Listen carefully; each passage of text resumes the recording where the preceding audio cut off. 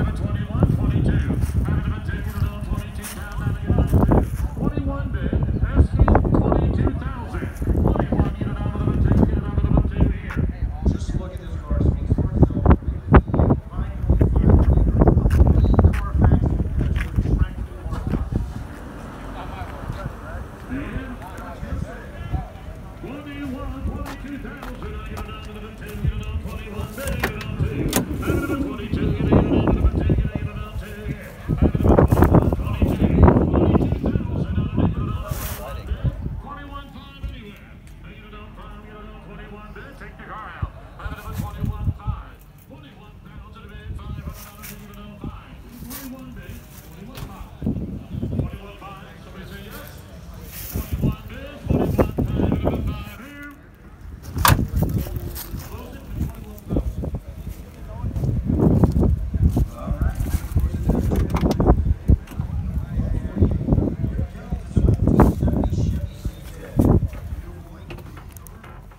It's an automatic.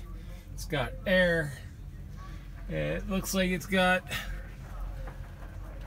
128,000 miles. It says 28, but I'm guessing 128.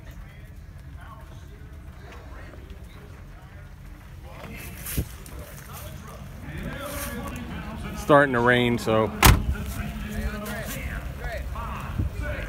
April, should they subscribe to this channel even if they don't like cars today for this one? Probably just for this one.